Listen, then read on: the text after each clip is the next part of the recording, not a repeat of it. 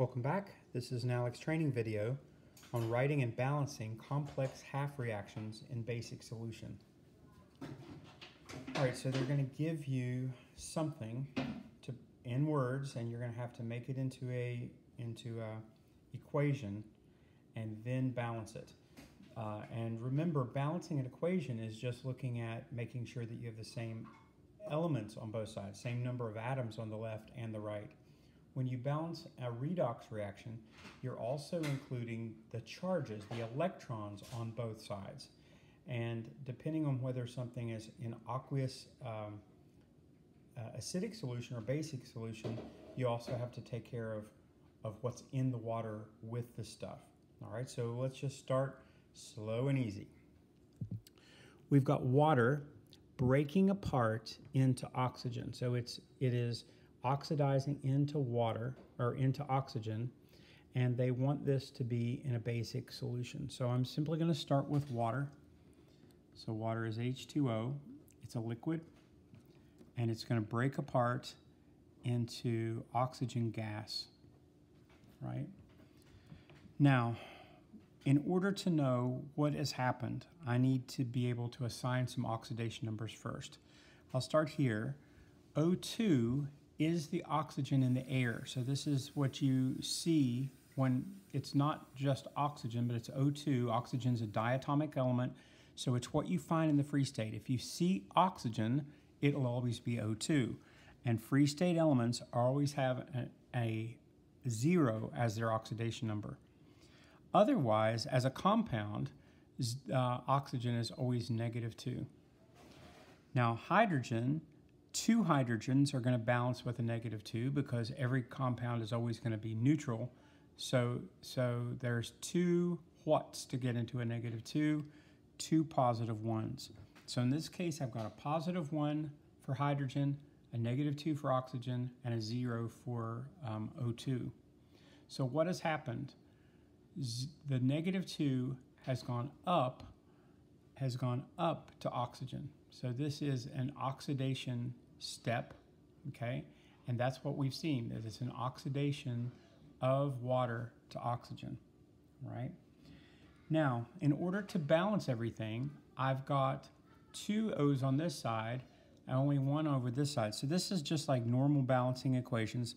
I need two waters, but I've got four hydrogen protons on this side, but I don't have them on this side, so I need to write them. Do you see? I, my oxygens are balanced, but now I have 2 times 2, so on the other side I'm going to write 4 protons. And I assume protons would be aqueous. Uh, we'll see that it cancels anyway, but this is aqueous, right? Now the very last thing in a, in a uh, redox reaction is that not just the elements have to be balanced, but the charges have to be balanced. We're going to see that on this side we've got four plus ones and one negative two. So that's four minus two. So there is plus two on this side, okay? And on this side, I've got four pluses, right? So I need to say what has happened? Where have my electrons gone?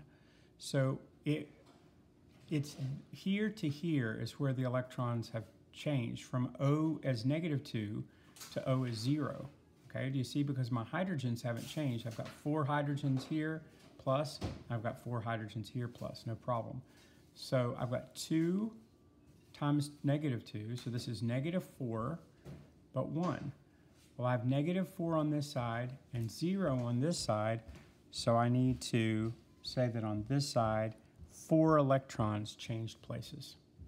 Okay, so I need to add where the electrons change place.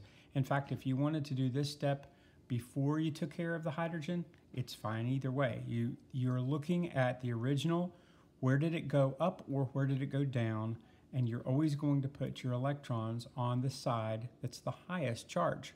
Okay, so in this case it's zero, but that's still higher than negative two. So two times negative two is four, so I need to add four electrons on this side, okay? All right, now, what's happening in balancing equations and why it's a headache to so many people is be, in order to balance something, you're adding things like protons, okay?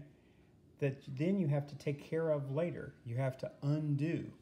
And the way you undo a proton is with water. All right, so let's see. On this side, we've got four protons and two oxygens, two oxygens, and my um, my electrons are taking place.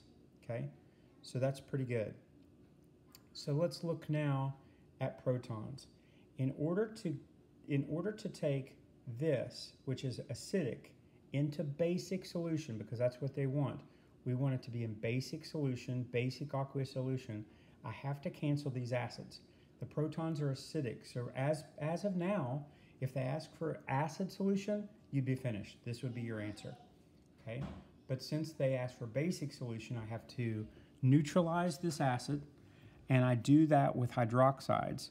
So I have four to get rid of, so I'm going to add four hydroxides on both sides, four hydroxides on both sides, and what that does is it creates water because hydroxide plus protons is hydrogen hydroxide, which is H2O.